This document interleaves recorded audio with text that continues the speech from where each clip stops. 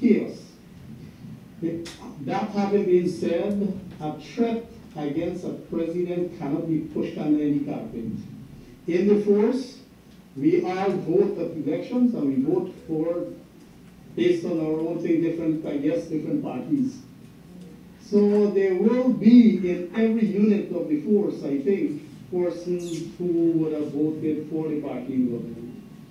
And even if there are elements in the force with an objective to uh, prevent a professional investigation, it is difficult to implement given that.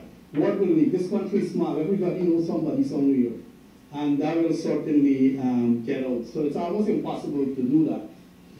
And, you know, reporters have to behave responsible. The media is extremely powerful the type of influence they have over the public, over members of the public, members of different organizations and so on, gives them a lot of power. Um, there are countries, uh, Rwanda for example, where a reporter made one statement that caused a civil war in that country. It took years to recover um, from that. So we need to, with, with great power comes great responsibility, and we need to be responsible. As Minister said, in that television station make such a statement without evidence, they need the full force of the law. The full force at a time when we are trying to build public trust, when we are making inroads in um, reducing the amount of violence within the society, the amount of crimes in the society, that clearly is a deliberate case to disrupt. So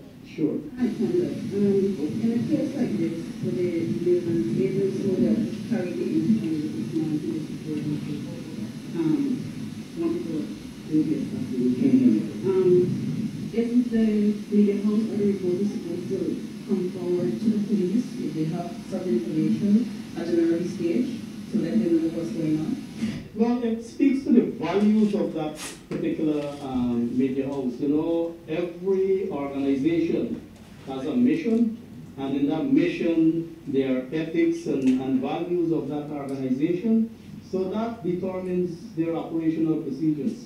They haven't done that in this case, and it speaks to what type of organization that particular media house is. In the case of serious allegations of the president, what did you think it would be? Well, I, as I said, I didn't see the interview. What person said is that this guy was saying the person who he's making this allegation about has contact with the commissioner or knows the commissioner and knows members of the judiciary.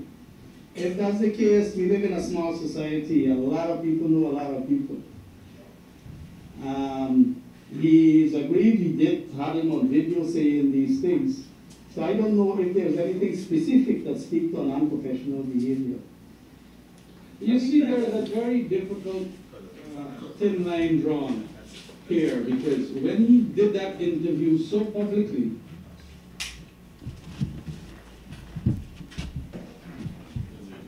uh, Commissioner Slowe, thank you for your indulgence in having that video played and arranging the facilities to have it played. Mr. Commissioner, now that you've seen the, or Commissioner of Police, because we have two commissioners in the room.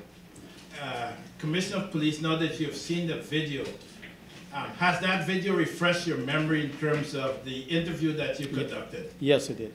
And when you uh, made those comments to Mr.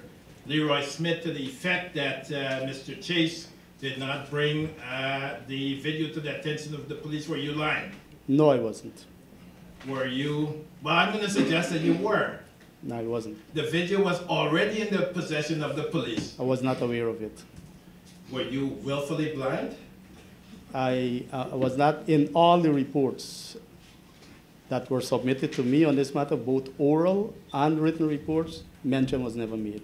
You see, that's the problem because I questioned you when you were supposed to transmit that memo to the National Security Committee. Mhm. I asked you specifically whether you asked for the file to review the entire file, and you said, oh, that's not my function. That was what your evidence was a few minutes ago. Yes, it was. Uh, I and I'm I still- suggest to you that you were willfully blind. You didn't want it to know what was in that file. That is not true. I'm not- not even sure that there's anything regarding that tape is, that is in the It was, it was, it, it, look, Assistant Commissioner of Police Ramnarine testified that he received the DVD and a memo from Assistant Commissioner James, and he transmitted that memo together with the DVD to Senior Superintendent Blanhum. That doesn't say that it's in the file. Well, I'm gonna suggest to you that it was, it was part of the investigation, wasn't it? I don't know that, and You I spoke about credibility being an issue. Yes, And that would have been the, a part of the issue of testing credibility. uh, let me go back this way. If Gillard said anything there that he didn't say to the police, it would have been additional information. If he said the same thing that was said to the police, then they already has that. The, the, the tape becomes irrelevant. Or if you got a chance now to walk back on your comments that you made about Travis Chase and HGTV 19 News, you're gonna apologize? I, I will apologize. I, Do it now. I, I'm not aware promise. until this inquiry started. When I made those remarks, I totally wasn't. And if you were there, you did not say that you did that either. And I would have apologized even there. You haven't, I don't take that as an apology. You haven't I- apologized for the false information that you put in the public. Uh, but- but, Well, let, let me, Mr. Animal, before you speak, I don't take this as a forum for that. And please, Mr. Pieters, just continue with the, um, the questions. Yes, thank you very much. Let's speak about David Ramnarine now. And um, I'm gonna pass to you, do you have your police act with you? No. Okay, so I'm gonna pass the police act to you.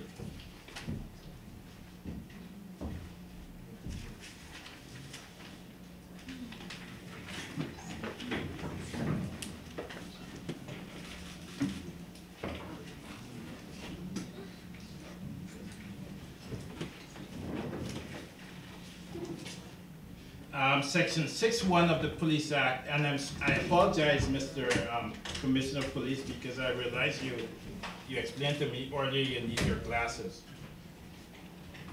Do you have your glasses in your vehicle? No. Can you send your driver to get it? Uh, if this is all that I'll have to read, uh, we can continue. Okay, very well.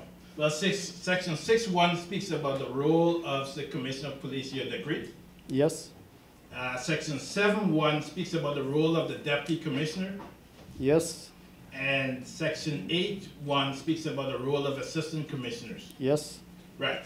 And in terms of the hierarchy of the force, tell us who is the number one, the number two, and the number three in the force as it stands on March, uh, let's say 29, 2017. Uh, the seniority list would read that the Commissioner of Police is number one. Assistant Commissioner Ramnarine is in number two. Um, I think uh, Assistant Commissioner Griffith would have been number three. At the time, I also believe that he was on pre-retirement leave. And um, that would mean, and, and uh, we have Assistant Commissioner Joseph, who is also on pre-retirement leave. I'm not sure if um, he would have retired then. If he hasn't, then he would have been the next person. And then that, that, that is number four, and then number five, Assistant Commissioner Hicken. Given that those two officers who are on pre-retirement leave, in the functional capacity, would have been Assistant Commissioner Hicken, number three. Right. And so let's deal with number one and number two. Would you agree that Assistant Commissioner Ramnarine was the functional deputy commissioner, given that he was number two? Was he acting in the position of a deputy commissioner? Um, no, deputy commissioner is a rank, and it's a rank that is appointed by the, the president. So there is no one holding the rank of deputy commissioner. Is there anyone acting in There- that capacity, there is- whether it's uh, on official line or however you determine? it? There is no acting in the public service. When you act, you get uh, payment for an allowance for that acting, and no one has been receiving that allowance, so no one has been acting. All right, so let's clarify the structure. So you're, you're the commissioner of police, Mhm. and you're a constitutionally appointed position. Yes, You, you testified that Mr. Ramnarine is your number two. Yes, And so you tell the panel, or sorry, you tell the commissioner, see that is a single member panel. You tell the commissioner, what is, what are the functions as you see it of David Ramnarine? His, um, he functions uh, as the Assistant Commissioner in charge of administration of the force. And while I'm away, he assumes duties of the Commissioner as well. All right, so expand on that. How does, what is the process that takes place when Ramnarine, when you go and leave and Assistant Commissioner Ramnarine is to assume your role? There is a letter from the minister approving of my leave, and that same letter will indicate that Assistant Commissioner Ramnarine will act. And who makes the decision that Ramnarine will act? The Minister of Public Security, I don't know if it goes farther than that, higher up than in, in the government structure than that. Do you, do you send, well, you apply for leave, don't Yes. you?